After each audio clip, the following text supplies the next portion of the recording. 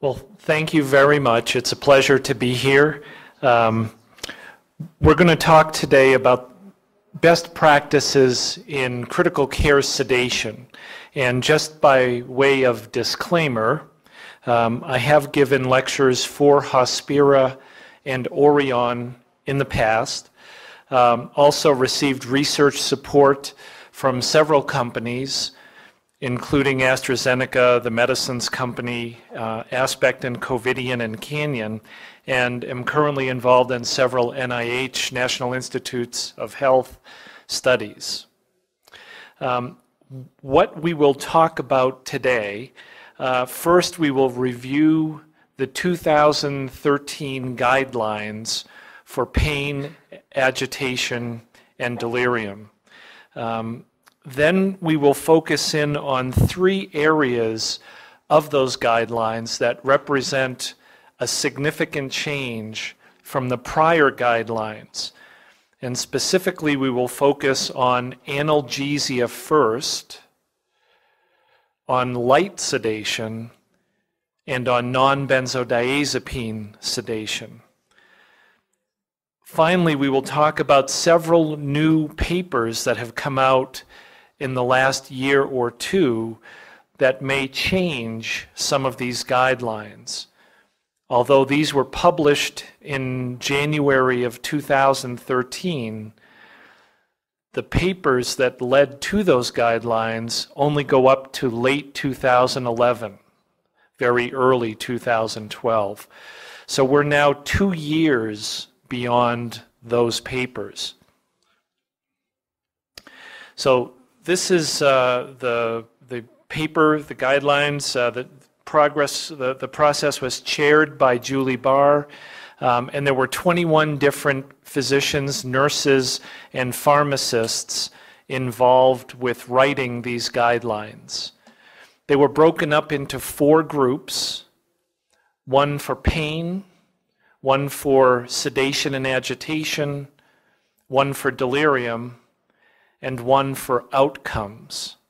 And each of those groups asked questions and then researched in the literature to answer those questions.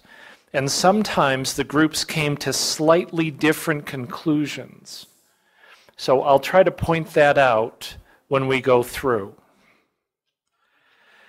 So, pain, agitation, and delirium are all interrelated. And we're going to start with pain, and that's not an accident. We think it's very important for every patient that the first thing you assess is pain. After that, deal with agitation and delirium, but first, address pain. So the guidelines recommend that all patients be routinely monitored for pain using the numeric rating scale, which is a 0 to 10 scale. And patient self report is the gold standard. We know that doctors and nurses and family members are not good at trying to guess if a patient is having pain. So the best answer is the patient's own report of whether they're having pain or not. That means oftentimes we may have to lighten their sedation even more to get them to be able to tell us if they're having pain and how bad it is. If patients are not able to report their pain, we recommend using either the behavioral pain scale or the critical care pain observation tool, and we will show those in just a minute. Lastly, as far as pain goes, many times in the ICU, patients have hypertension and tachycardia and are assumed to be having pain as a result. But there are many other reasons why patients may be tachycardic and hypertensive. And we know that if you get patients and ask them if they're having pain and look at their vital signs, there is not a good agreement.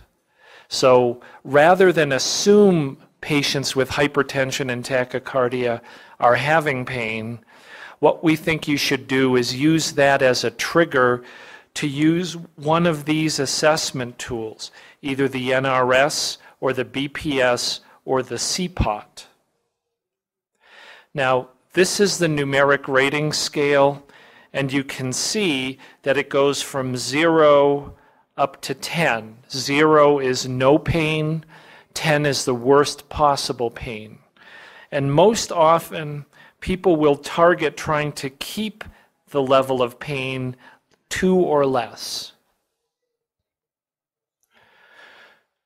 If we can't use patient self-report with the numeric rating scale, this is one of the scales we can use instead. It's based on patient behavior, so it's called the Behavioral Pain Scale. It looks at three things facial expression, upper limb position, and compliance with mechanical ventilation. And each of these three components gets scored from one, which would be associated with the least pain, to four. So if we look at arm position, one would be no movement of the arms, four would be patients who have keep, kept their arms permanently retracted. And you can see there are similar scores for facial expression and compliance with ventilation. The CPOT is a very similar tool. It looks at facial expression, body movements, muscle tension, and either compliance with the ventilator or vocalization, how well the patient can speak if they're not intubated. And each of these four areas gets scored between 0 and 2. Once we've assessed pain, we recommend using IV opioids as the best treatment for pain, not the only treatment. And many times there will be a role for other non opioid uh, medications, but we think that opioids are the first line drug. And we did not identify a specific opioid. You might choose to use fentanyl or morphine or remifentanil or hydromorphone or methadone. And what we recommend is that you know the side effects and the adverse events and the kinetics of the drug and use those to match up with your specific patient. So, for instance, if it's a patient with renal failure, you wouldn't want to use morphine you might want to use either fentanyl or maybe hydromorphone as the drug of choice. If it's a patient who has QT prolongation or is having arrhythmias, maybe methadone would not be a good drug for that patient. So know your patient, know your drugs, and match the two together. Once we've assessed and treated pain, the next thing we look at is agitation.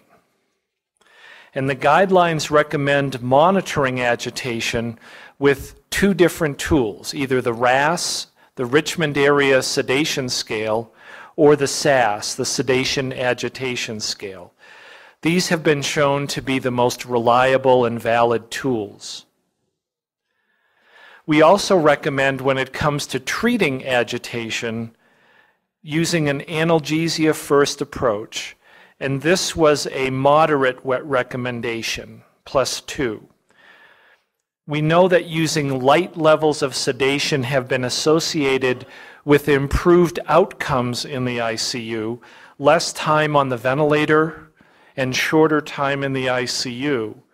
And so we recommend, this is a strong recommendation, that sedative medications be titrated to a light rather than a deep level of sedation. And we're going to spend some time in the middle part of the talk focusing on the studies that have consistently given us that answer, that light sedation is better. Now, these are many different sedation tools that have been used and published, And Robinson et al. did a study where they tested the psychometric properties of all of these scales and found that the SAS and the RASS were the two most reliable. This is the SAS. It's a seven level scale, three levels for uh, agitation, one level for calm and awake, three is light sedation, and a patient who scores three is someone that you may need to stimulate either verbally or physically, but you can get them to wake up. They'll shake their head, yes or no. They'll hold up one finger. They'll wiggle their toes. They will interact with you and follow commands.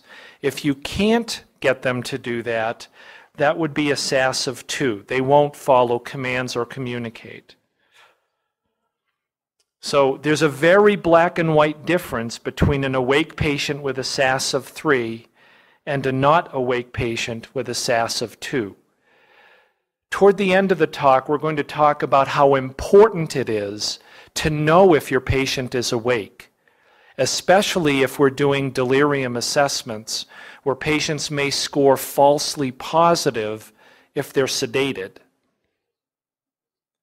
This is the other scale that's recommended, the Richmond Agitation Sedation Scale, or the RASS.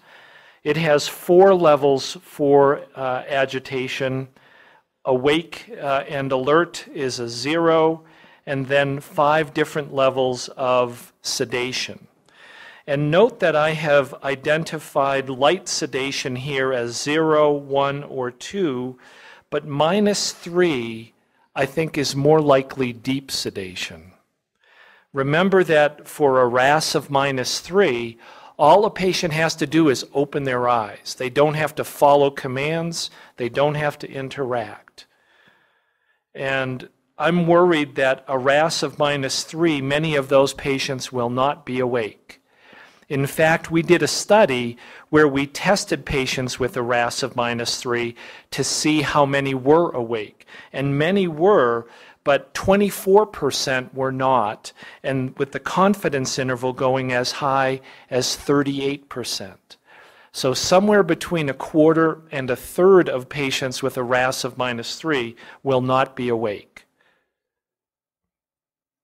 The guidelines recommend, in addition to an analgesia first approach and light sedation, using a non benzodiazepine approach to sedation. This was a moderate recommendation. And we recommended using either a daily sedation interruption or titration to a light sedation level. And this was a strong recommendation. We'll come back and talk about analgesia first and light sedation and non benzodiazepine sedation in a little bit. Next, I want to move and talk about delirium. After you've assessed pain and you've controlled agitation, now we should begin to assess delirium. We know that delirium has many bad outcomes associated with it higher mortality, longer time on the ventilator, up to 10 extra days in the hospital, and all of this results in a higher cost of care even after you leave the hospital, if you survive your time in the ICU, but have delirium while you're in the ICU, even once you go home, adverse events are occurring. Higher mortality even after you leave the hospital, increasing incidence of dementia and long term cognitive impairment, and increasing requirement for chronic care facilities instead of going home. So it's clear that delirium in the ICU is a bad thing and something that we should avoid if we can. Now, this is a study from Margaret Pisani's group who looked at survival, 100% survival up here. And then she looked at how many days in the ICU patients had delirium. And you can see that the highest survival was for patients who had no delirium, zero days. If you had one to two days, look at the drop, and I'll use this so it shows up a little bit better. look at that drop from zero days down to one to two days, three or four days, five to nine days, and 10 or more days with a less than 20% survival at one year. So the more days of delirium, the worse your outcome. And many other investigators have shown very similar results to this. So we recommend screening for delirium with one of two scales, the CAM ICU or the intensive care delirium screening checklist. We know that coma, whether that's drug-induced coma or structural coma, is a risk factor for delirium. Benzodiazepines like midazolam and lorazepam may be a risk factor, and we don't have enough data to know if propofol is associated with delirium. Now, this is the CAM ICU. It's a four feature scale, and you need to have both feature one, acute onset of mental status changes or fluctuations in your mental status, and these are measured with the RASS or the SAS. And you need to be inattentive and that can be tested several ways. Inattention is one of the hallmarks of delirium.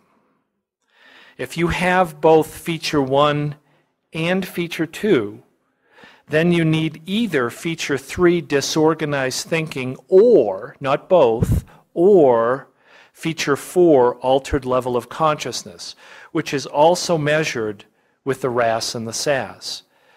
So notice that if your level of consciousness is altered, you're already positive for feature four and for feature one. And then the only other thing you need is feature two.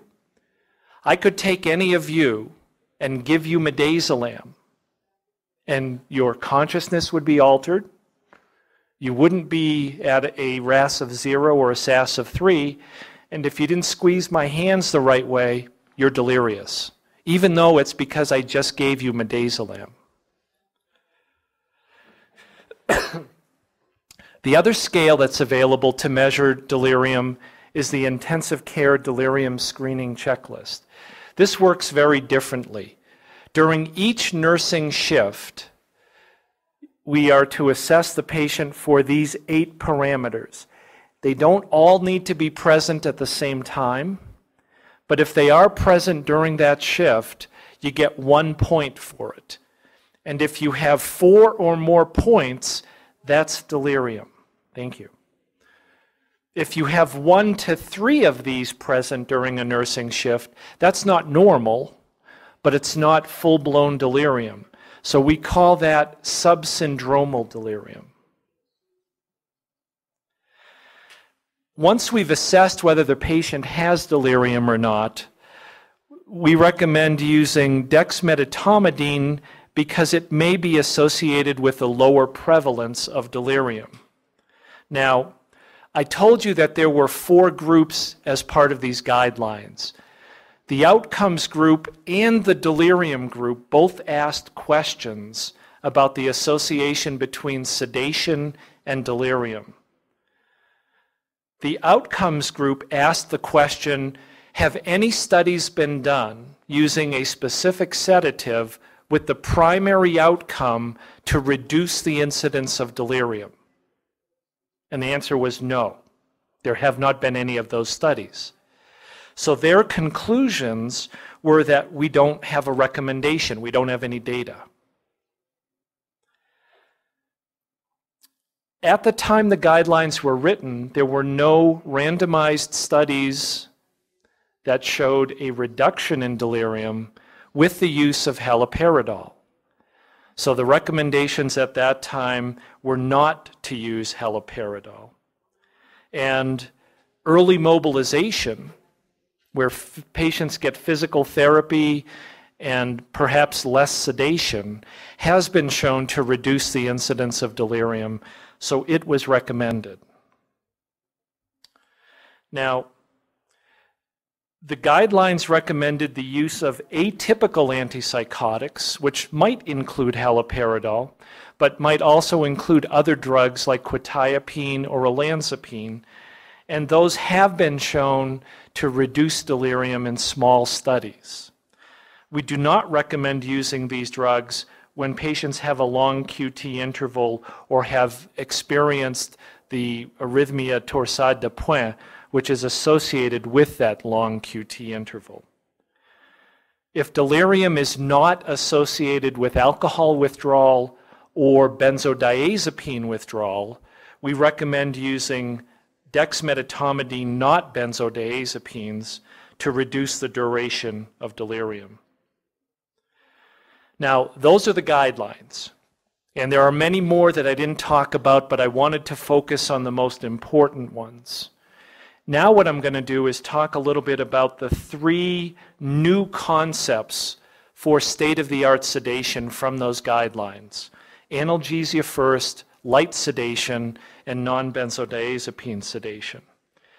Analgesia first was first published back in 2005.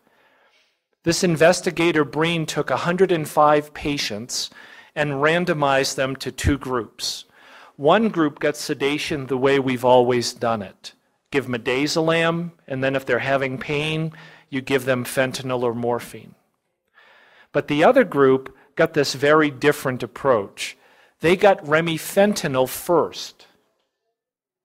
And both groups were titrated to try to keep them in light sedation, a SAS score of 3 to 4. The analgesia first patients did not get a sedative unless they weren't in this level on remifentanil by itself. And what they found was that the group receiving analgesia first were extubated 54 hours sooner than the group receiving midazolam in the usual way.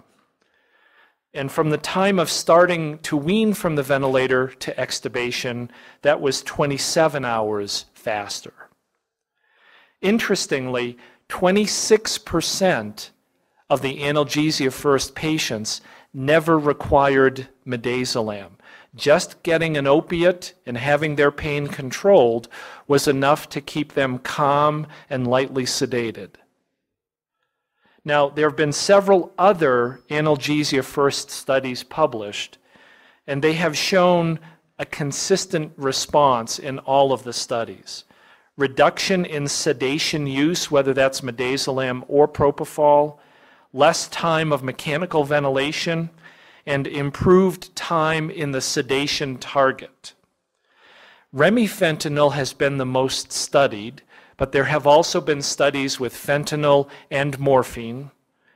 There have been no studies with dexmedetomidine or clonidine. And many times when I've given this talk, people have asked, is it an analgesia first type of medication? So I want to talk about that because I think it might be, but we don't know that for sure. Remember that alpha 2 agonists like dexmedetomidine and clonidine work at alpha 2 receptors. And we have two places where we have lots of alpha 2 receptors in the locus ceruleus at the top of the brainstem, and this is probably where the sedation effect occurs. But we also have a very high concentration of alpha 2 receptors in the dorsal region of the spinal cord, where epidural catheters have their effect. And in fact, it's very likely that the alpha 2 receptors in that dorsal region of the spinal cord provide a fair amount of analgesia from alpha 2 agonists. In the pivotal study that led to the approval of dexmedetomidine, this was a placebo controlled study of surgical patients. So, patients after cardiac surgery or abdominal surgery coming out of the operating room to the ICU getting randomized to either dexmedetomidine or placebo. If you're going to give a placebo to a patient who just had cardiac surgery, you better have a way to rescue them. So they could get midazolam or propofol in two different studies for sedation if they needed it, and they could get morphine for pain. And what they found is that in the placebo group, 83% of the patients required supplemental morphine. That's not a surprise. but only 57% of the patients receiving dexmedetomidine required any morphine. In other words, their pain 43% of the time was controlled just with dexmedetomidine. If you look at the doses of morphine in the first six hours after starting drug, the group receiving dexmedetomidine, remember only 43%, they required about four milligrams of morphine, whereas the placebo group required eight milligrams of morphine. So, a little bit of data to suggest that alpha 2 agonists may have analgesic properties, but this has not yet been proven that when you use it, you're doing an analgesia first approach. But my own opinion, I think you are. Now, I want to move away from analgesia first and focused on what is perhaps the most challenging aspect of these new guidelines, targeting a lighter level of sedation. When we were doing the SEDCOM study, a study where patients were randomized to either dexmedetomidine or midazolam, I had many nurses that I had worked with for many years come up to me angry, very angry, because we were titrating to light sedation and they thought it was cruel to patients and it was a wrong thing to do. But now we have so many studies that convincingly show the benefits of a lighter level of sedation. And I want to go through them because when you see all of them, it makes it very hard to go back to the ICU and make your patient deeply sedated. So, this was the first study. It was published in 1999, and what Brook did is to randomize patients to either the existing standard of care, where there was no change in the level of sedation given unless a physician ordered a change, or a protocol that allowed nurses to down titrate sedation to try to keep patients lighter. And what they found is that although about 40% of patients in both groups ended up on continuous infusion sedation, the group in the titration protocol was only on continuous infusion for about three days, compared to more than five days in the standard group. Time on mechanical ventilation was dramatically different 55 hours in the titration protocol compared to 117 hours in the standard care group. Time in the ICU was also shorter 5.7 days versus 7.5. Hospital length of stay was almost six days shorter in the group that was titrated to lighter sedation and the tracheostomy rate was half, 6% compared to 13%. So, a very strong message lighter sedation, better outcomes. A year later, John Kress did his now famous study where he did daily wake ups or sedation interruption. Half of the patients that were randomized to standard care did not get that sedation interruption. What they found, very much like Brook, is that the group who had sedation interruption spent shorter time on the ventilator, 4.9 days compared to 7.3, less time in the ICU, and the incidence of diagnostic testing to answer why won't my patient wake up? What kind of testing was that? CAT scan of the brain, lumbar puncture, neurology consultation, um, EEG. Only 9% of the daily sedation interruption patients needed that kind of testing, compared to 27% in the routine care group. If you looked at how many days in the ICU, what percent of all ICU days patients were awake for even a short period of time, 86% in the daily sedation interruption compared to only 9% in the standard care group. That meant that 91% of ICU days, patients were comatose 24 hours a day. That can't be a good thing. So, again, a very strong message lighter sedation, better outcome. Now, one of the really important things, and we're going to come back to this at the end, is how Kress defined awake. So the nurses would come by, and no matter what the level of sedation was, they turned it off. And every 15 minutes, they would check the patient and see can they do these four things? Can they open their eyes? Can they use their eyes to track you as you walk around the bed? Can they squeeze hand? And can they stick out their tongue? And when they could do three out of those four things, they were considered awake.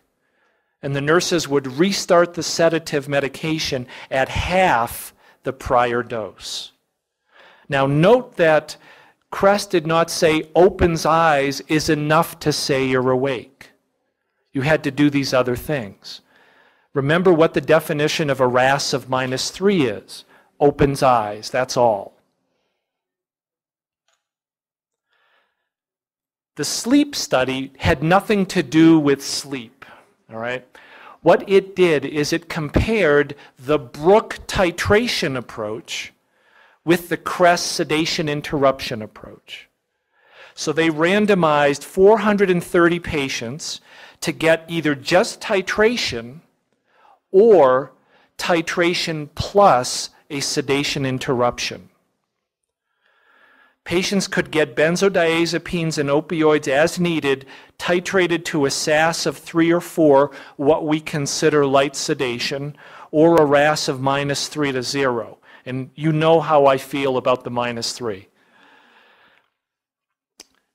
The outcomes time to extubation, time in the ICU, and time in the hospital was identical in both groups. In other words, if you're titrating to light sedation, doing a sedation interruption added no benefit. People got, did not get off the ventilator faster, they did not get out of the ICU faster.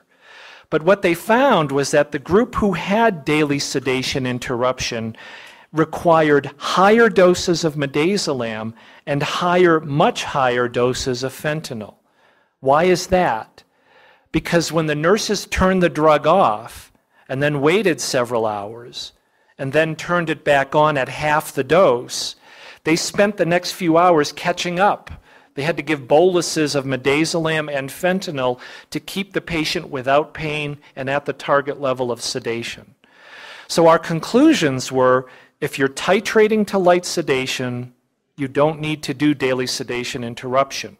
But if it's a patient that you're not titrating to light sedation, if they're deeply sedated for some reason, then maybe doing daily sedation interruption might be important, as Kress showed initially. This is just the time to extubation for the two groups, and you can see that it's virtually identical. This was another study where patients were randomized to either light sedation or deep sedation. In both groups, patients received morphine for analgesia and midazolam for sedation. And you can see these were the definitions of light sedation and deep sedation.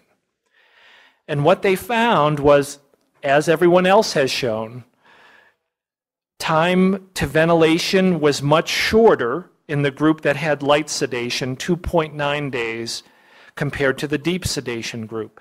Time in the ICU was shorter, and the incidence of depression was only 5% compared to four times higher, 19%, in the group that was deeply sedated while in the ICU. After the patients left the hospital at one month from discharge, they followed them up. And what they found is that the patients who were deeply sedated, 6% of them could not fill out a simple questionnaire. They had cognitive impairment. None of the light sedation patients had that. The deep sedation group also had higher post traumatic stress disorder scores 37% of the deeply sedated patients could not even remember having been in the ICU, much lower in the group that was lightly sedated. But when they did remember being in the ICU, the deeply sedated patients had disturbing memories 18% of the time, compared to only 4% in the lightly sedated group. And that probably had something to do with their PTSD scores. So, again, a very strong message light sedation, better outcome. These are the drug doses in this Treggiari study. The green lines are the light sedation group, the red lines are the deep sedation group, the dotted circles are the morphine doses, and the, the solid line with triangles are the midazolam doses. And if you look at baseline, the doses were not that different between the two groups. And the light sedation group stayed fairly similar for the first seven days. But look what happened with the deep sedation group. Every day the doses were going up, such that by the end of the first week, the morphine doses were approaching 120 milligrams a day, and the midazolam doses were close to 100 milligrams a day. That can't be good. So, to keep a patient deeply sedated requires increasingly high doses of drug. To keep them lightly sedated, not so much. Now, this is the ABC hospital. This is the ABC trial. You've probably heard of this trial. In it, patients were randomized to either get a spontaneous breathing trial or a weaning trial from the ventilator just with their sedation where it was, or to have associated together daily sedation interruption and a spontaneous breathing trial. And what they found is that that linked spontaneous breathing trial and sedation interruption had more ventilator free days, more time off the ventilator, shorter time in the ICU, shorter time in the hospital, and a lower mortality at one year. They also had a little bit higher arrhythmias during the breathing trial and a higher incidence of self extubation, 10% compared to 4%. Now, many people are starting to use this ABC trial. So A is um, airway, no, let me see. Uh, we'll get to it. Uh, A, B, C, D, E. So in addition to linking the breathing trial and the awakening trial, they'll go ahead and do delirium assessment, and E is early mobility. Couple of concerns. There's no P in there for pain. Remember, the guidelines want you to first address pain. So maybe it needs to be PABC. I don't know. If you're titrating to light sedation, we know from the sleep trial that you don't need to turn off the sedation. So maybe you don't need to do the sedation interruption as part of ABCDE. Delirium was not routinely assessed at the end of the wake up. Sometimes it was assessed during sedation, and we'll talk about that. Only 20% of the screened patients, there were 1,650 of those, only 330 were enrolled. So it's a very selected group. And they would not do this study on patients with active seizures, alcohol withdrawal, increased intracranial pressure, escalating sedative doses, neuromuscular blockade, or coronary ischemia. So it does not apply to all patients. Within the last year, there's been a very important paper published by Yahya Shehabi and his group from Australia. And what they did is they looked at a period of time that was ignored in every other sedation study the first 48 hours in the ICU. Now, the reason other studies didn't include these patients is it takes a while to get permission to enroll a patient into a study. What they did is they did not control sedation or analgesia, they just observed it. But they recorded that data right from the time the patient got to the ICU. And they followed those patients out for a year. And what they found is that the group that had early deep sedation, and what that meant was even one RASS score of minus four or minus five. Didn't have to be the whole 48 hours, one score. And that group that had early deep sedation took much longer to get extubated. And if you look at one year mortality, or this is survival, the group with early deep sedation had a much lower survival. So even in the first two days of the ICU, avoiding deep sedation is an important thing. Now, in the SEDCOM study that I talked to you about a little bit, where patients got randomized to dexmedetomidine or midazolam, they were at light sedation target the same amount, about 75% of the time. But even with that constant level of sedation in both groups, the group that received dexmedetomidine came off the ventilator two days faster than the midazolam group, and that was statistically significant. The patients also left the ICU a bit sooner, but that was not significant statistically. The nurses scored the patients, and they were blinded to what the drugs were. Nobody knew whether they were getting dexmedetomidine or midazolam. But the nurses scored these patients, and they asked how were they communicating, how were they cooperating with care, and how were they tolerating the ventilator. And they scored that from 0 to 10. Higher score meant more communication, more cooperative, better tolerance. And you can see that the dexmedetomidine group was scored higher for all three. I told you that I was going to come back to the importance of sedation and wakefulness when assessing delirium. Now, if you go, if you look at the CAM ICU, which we've looked at, remember that both feature one and feature four are related to level of consciousness. If you don't follow commands, if I ask you to squeeze my hand when I say the letter A and you don't do that, CAM-ICU scores you as inattentive, which means you're positive here and positive here and positive here, you've got delirium. There's a very high likelihood that lingering sedation is falsely being called delirium and patients have to be fully awake. And I want to show you the data now that we have. When we wrote the guidelines, we didn't have any of this data. We now have very convincing data. So if you go to the icudelirium.org website, and I did this just a couple weeks ago, here's what you'll read. Most of the time, feature three, that's the disturbance in thinking, is not necessary because the reason the patient is positive is because feature 4 is positive. If you say the patient is unable to be assessed, that only applies with a minus 4 or a minus 5. That's what the website says. It says if you have a RASS of minus 3, you're awake enough to be tested. And there's a question in there does it still count as fluctuation or change from baseline mental status? This is feature one. If a patient is on drugs, and the answer there is yes. Now, I want to give you a very different answer if you look at the intensive care delirium screening checklist.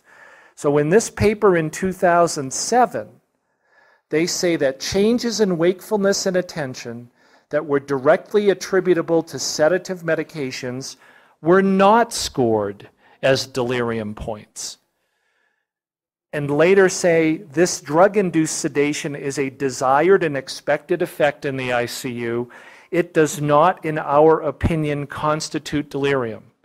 Confusing the diagnosis of coma or sedation with delirium, or diagnosing delirium in the presence of coma or sedation, can lead to an inflated estimate of the incidence of delirium. Now, there's other data that supports the idea that sedation is confounding delirium assessment. This was published uh, last year. They looked at patients and scored their RASS, minus five all the way up to four. And the nurses and doctors who were doing the assessments could say, this patient's not awake enough to assess.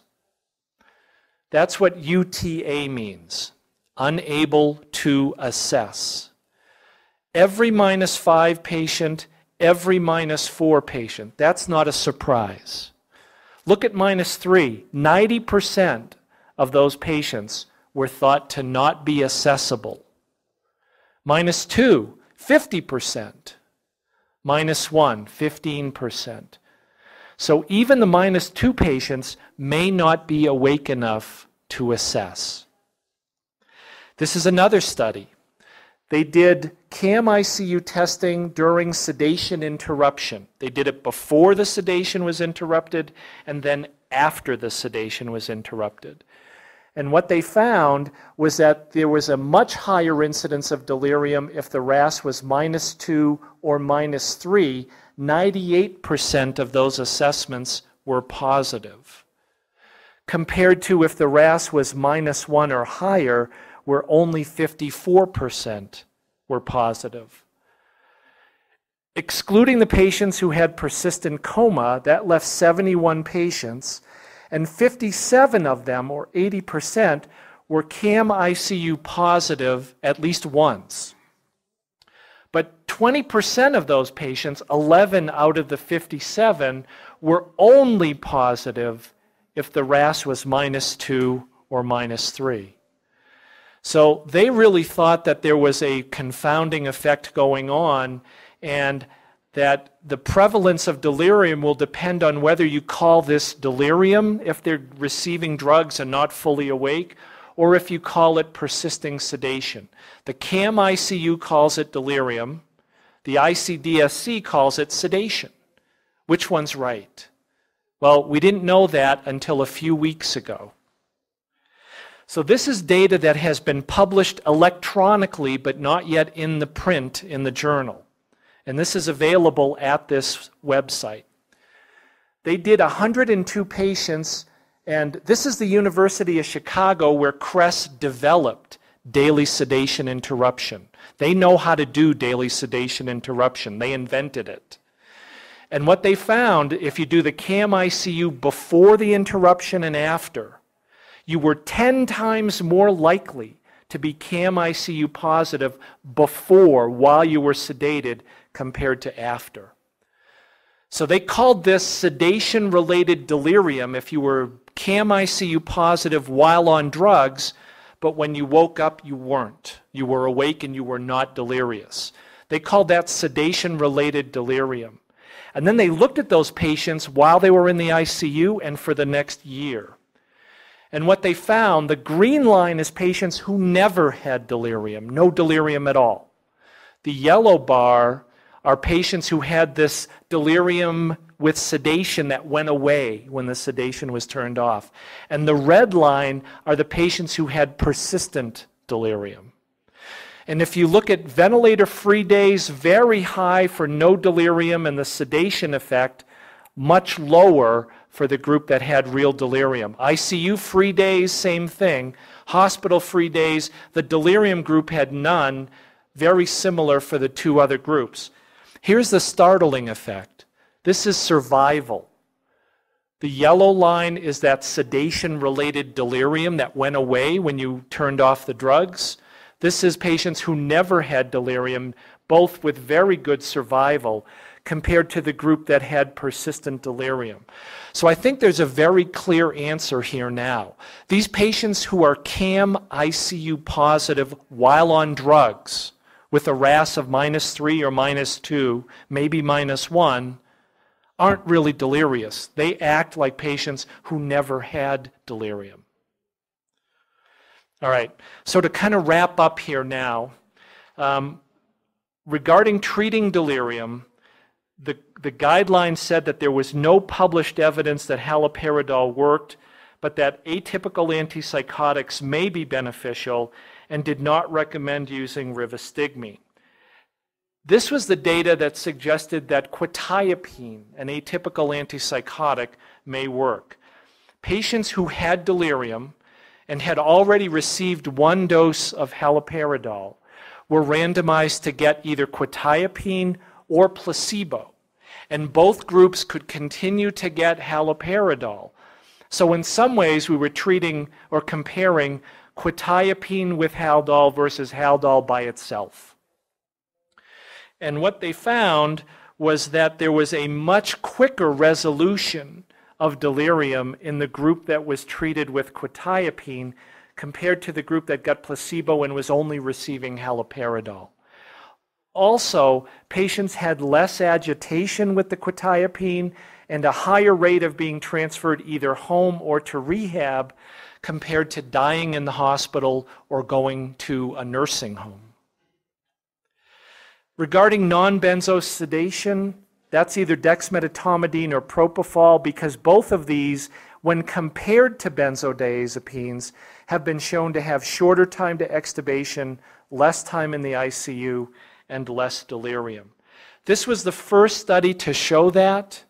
It was published by Maldonado. It was a cardiac surgery open label study. And when patients were coming out of the operating room, they were randomized to dexmedetomidine or propofol or midazolam. And you can see that the incidence of delirium was 3% with, delir- with dexmedetomidine compared to 50% for the propofol or midazolam. The duration of delirium, what percent of hospital days total were patients delirious? Only 1% with dexmedetomidine, 16% with propofol, 29% with midazolam. So a clear figure, a, a clear signal that dexmedetomidine is associated with less delirium. This was the SEDCOM study. At baseline, about a 60% incidence of delirium in both groups. The dark bars are the dexmedetomidine patients, the gray bars are the midazolam patients. Study drug gets started here, and within a day, the dexmedetomidine delirium rate drops down significantly. The midazolam rate is remaining high. Remember, this was a blinded study. Nobody knew what the patients were getting. The delirium assessments were done blind to study drug. This is the MENDS study where patients were randomized to dexmedetomidine or lorazepam, very similar effect. About 60% in, at baseline, delirium comes down a little bit more slowly. In the DEX group, compared to the SEDCOM study, midazolam actually goes up. I mean, with lorazepam, the delirium rate goes up. Now, within the SEDCOM group, those 60% who had delirium at baseline, then study drug gets started, how often did they have persistent delirium while receiving study drug? Remember, the incidence of delirium is 100% for that 60%. Only 68% of the patients receiving dexmedetomidine ever had delirium while receiving study drug, compared to 95% in the midazolam group. So about a third of the dexmedetomidine patients, the delirium went away on dex and they never had it again. The 40% who did not have delirium at baseline, so they started at a rate of zero, 32% developed it in the dex group, 55% in the midazolam group. So it looks like if you have delirium, it goes away quicker with dexmedetomidine compared to midazolam. And if you don't have delirium, you develop it less often with dexmedetomidine. These are the studies, this is going to wrap things up here. These are the studies supporting the new role for haloperidol, perhaps. So this was one of the first studies that compared dexmedetomidine and haloperidol, very small, only 20 patients, who already had delirium. They had agitated delirium at baseline. They got either continuous infusion haloperidol or dexmedetomidine. The Haldol group took much longer to extubate, 42 hours, compared to only 20 hours in the dexmedetomidine group, and they spent much longer time in the ICU, 6.5 days versus 1.5 days. This is another study that suggested that haloperidol may be an effective agent to prevent delirium. You can see that patients who had a high prediction risk for delirium were randomized to haloperidol, very low dose, one milligram every eight hours and they compared them to a group that did not receive delirium. So this was not a randomized study. It was historical or parallel controls. They looked at how often those patients had delirium, what the 28 day mortality was, This is the group that got haloperidol. This is the group that did not. You can see that the delirium incidence was 75% without haloperidol, 65% if they were treated with haloperidol. Number of delirium free days without coma, only 13 in this group, 20 in this group. So more days without delirium and without coma. That's a good thing. 28 day mortality, 12% compared to 7%, a lower mortality.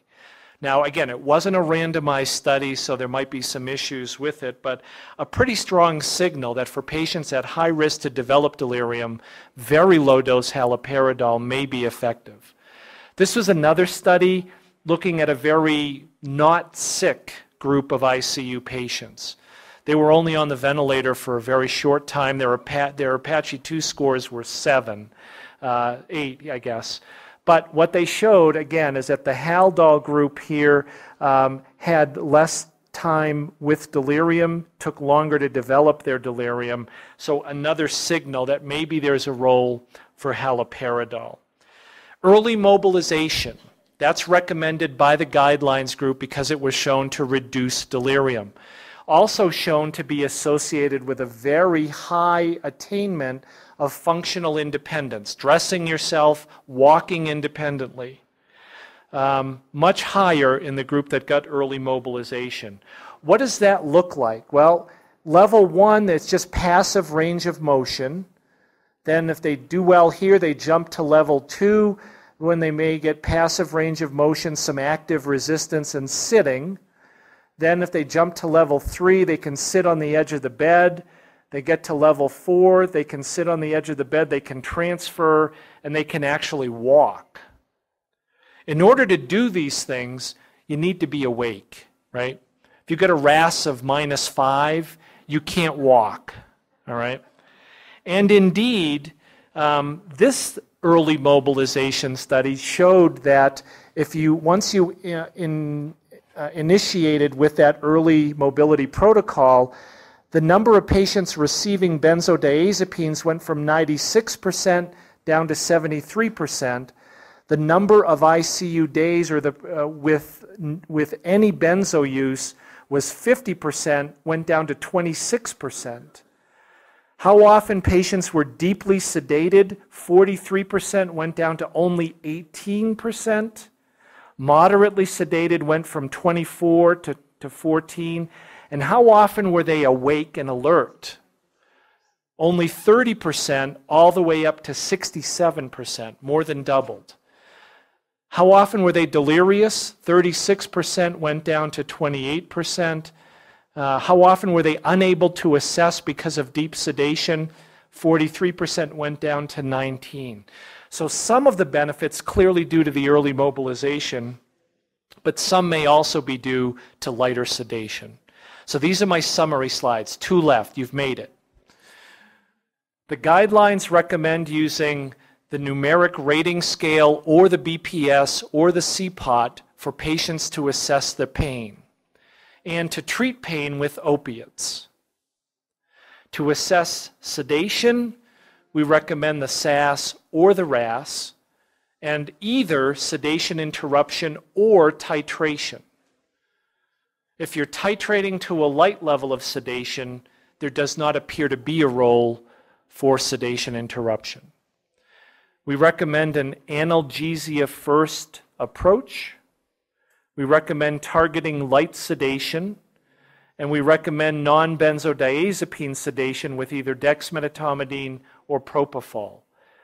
To assess delirium, we recommend the ICDSC or the CAM ICU early mobilization, atypical antipsychotics, and if the delirium is not due to withdrawal from benzodiazepines or ethanol, we recommend using dexmedetomidine. We do not recommend using vital signs to diagnose pain. And remember, we said no role for haloperidol for prevention, but that's now maybe going to have to change. Um, lastly, Remember how easy it is for that sedation to confound delirium assessment. You need to be awake to be assessed for delirium. That's a SAS of three or four. We're not sure what RASS level it is. It's probably almost certainly not minus 3, may not be minus 2. Some people have recommended maybe it needs to be 0. But the easy way to do it is use those Kress wake up criteria opens eyes, tracks with eyes, squeezes hand, sticks out tongue. Right? They can do three out of four of those, they're awake. And there may be a role for Haldol for preventive therapy. Thank you very much.